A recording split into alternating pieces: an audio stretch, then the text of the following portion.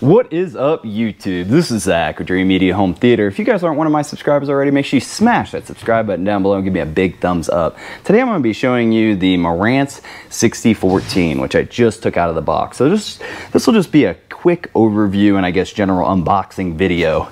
Um, so this is a nine channel, 9.2 channel receiver. You can use this for many different purposes.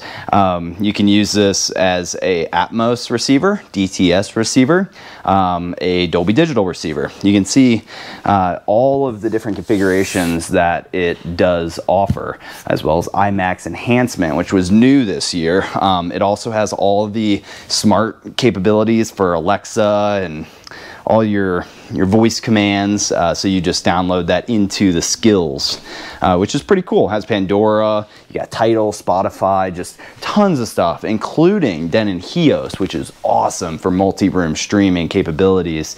Gives you the ability to um, independently group rooms together. You like with this receiver, you can even break it up instead of just using it as one room, like I'm using it here as a 7.2.2 Atmos system. You can use this as like a 5.1 in your living room with maybe uh, your patio powering up zone two and then maybe your dining room for zone three. So there's a bunch of different ways you can configure this receiver, which is great. Um, inside of the box, you're gonna find the power cord, got a little wire guide, we have the remote. This is the remote, standard on all the Marantz units. You'll need that during setup. Comes with batteries included. We got the Audyssey setup mic. Now, one of the biggest differences between like the Denon and going up to Marantz, you know, they're like Toyota and Lexus uh, partner companies there, is the calibration software and the processor is better. Um, so it's it's worth the money to if you have it to spend it on the Marantz. It's just made with better components inside. Another thing that I really like about uh, Denon and Marantz products is the fact that it comes with this nifty little wire labeler here. So as you're toning everything out, you can check and see, um, or you can label them once you check and see uh, so that it lines right up with the back of the unit. You can even label your like HDMI cables here. It's got AM and FM connections here, as well as Bluetooth. Bluetooth ears, you definitely want to go ahead and just put those on. AM, FM, I don't know. I hardly ever connect it because none of my customers use it anymore. Uh, this is pretty nifty. So when you're doing the calibration, this is a little stand that comes with all of the units to help get it at the correct location on your seat. So this is the front of the unit. You can see it's taped up right now, but Marantz doesn't have a huge display here on the front, but hidden behind here, you do have some more controls, as well as HDMI. You have the setup uh, mic port, uh, phones port, you got the um, USB, and then video, S-video. Spin it around and look at the back. I'm gonna go ahead and put our ears on here our Bluetooth ears.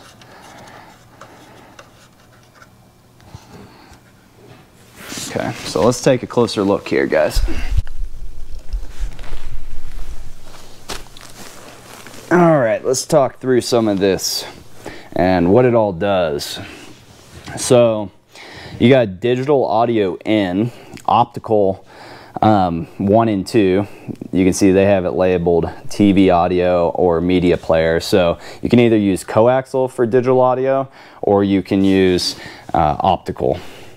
So what type of situation would you need that for? One of the biggest reasons that I use those ports is for audio return channel out of a television, like a smart TV, so that you can get Netflix and everything to play uh, through it. Or if you have like an old device that maybe doesn't have HDMI, you could hook up right here and then take digital audio in. You got a network jack. This is the hardwired into the system so everything works really well and quickly. Um, it also has all of these HDMI ports, seven here on the front, and then on the, or sorry, seven here on the back, and then there's one on the front. These are all 4K and the new HDCP 2.3 and these are assignable ports as well so you can go into the programming and decide what you want to do. Uh, you have zone 2 here, monitor 1 and monitor 2. So let's talk about different ways you can use this. Um, monitor 1 in a theater situation is going to be your main port or if you just have a one room situation that you're using this receiver for, you would just take that out right to your television or your projector or whatever. Now, ARC is audio return channel it doesn't always work, which is why I was talking about optical audio return. So um, what this is supposed to do on short runs, it works great, like six feet, 10 feet, it'll return the audio from Netflix or Hulu or whatever on the television right back to the receiver and do that automatically using CEC so that you don't have to, you can like control the receiver and stuff like that. A bunch of cool little features. Um, so that, that's what that stands for. And then you got monitor two, that's just if you wanted to display to another source. And then zone two, that's if you wanted to say hook up like I was explaining earlier, a 5.1 in the living room, and then maybe on your patio you wanted to power up another TV and stereo speakers, you could do that all off of this one receiver. Pretty cool. Independent audio video as well. So you have really good flexibility. AM FM over here, which I was talking about earlier. Almost never use it anymore. You got DC out, RS-232, flashers in, uh, you got a ground signal, uh, and then you got all of your, you know, old school component composite connections here. And then all of these guys down here are your audio ins that are assignable. And then you have 7.1 channel in, and then these are all your pre-outs. So Pre-outs are great because you can send the signal out to like a, another two channel amp or four channel amp, five channel amp, seven channel amp, whatever, um, for additional juice. So in a lot of situations, you'll see us powering up the left and right and center separate from these guys here just because those require a lot more juice. Um, but you could do pre-outs on all your channels if you wanted. Now down here, these are where you physically connect your speakers if you're not using the pre-outs. So in this situation, this 722, we're just connecting all of these direct right here. So you get your front left and right and center, surround left and right, surround back left and right, and then the height one and height two, these are assignable as well. So you can actually only use one of these at a time. Uh, or you could use both of these and not use the surround back. That's a really confusing uh, specification that a lot of customers don't get whenever they're looking at this unit is how this physically works because they're like, well, why can't I do 11 channels? Uh, there's 11 terminals, that, but that's just not how it works. They basically cross over inside of here so that you can use like four height speakers and just one surround, or you can use the surround and surround back and only one height. I hope that helps you guys out. Only other thing left back here is just the power. So here's what I was showing you earlier.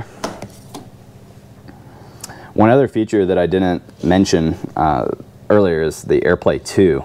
That's huge. Uh, I don't think they had that on last year's model. I might be wrong, but I'm pretty confident AirPlay 2 is not on last year's models.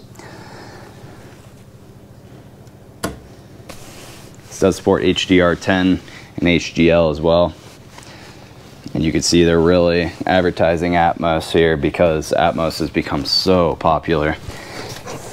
Because it sounds amazing. Okay guys, well that concludes my overview of the Marantz 6014. This is a great unit at a great price. We do have nationwide free shipping and a low price guarantee. You'd like to buy this product, make sure to reach out and show your support. We really appreciate it. Till next time, this is Zach with Dreamedia Home Theater. Thank you for watching.